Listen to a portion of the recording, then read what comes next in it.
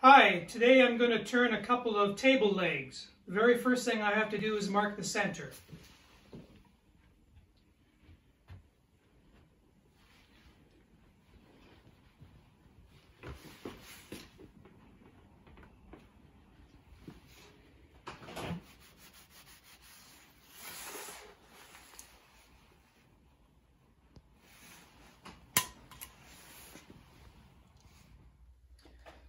The first thing I do is mount the square block in the lathe and then I, have taken a story stick and I've marked off where the square ends on each side of this table leg will be.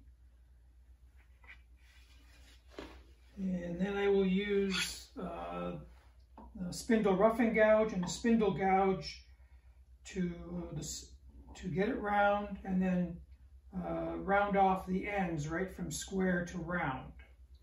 So I'll just do a few cuts.